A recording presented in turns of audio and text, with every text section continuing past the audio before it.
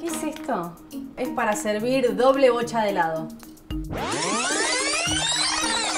Te separa por gusto, ¿viste? Cuando vos decís, ¿qué gusto vas ahí al medio? Te separa y te dice, vos dulce de leche y vos chocolate. ¿Cómo que no? Si tiene la forma de una bocha para este lado y la forma de esta bocha para el otro. Lo pongo así. Saco dos bochas de helado. Cortador de pasta en.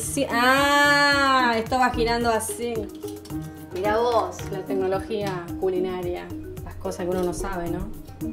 Muy bien.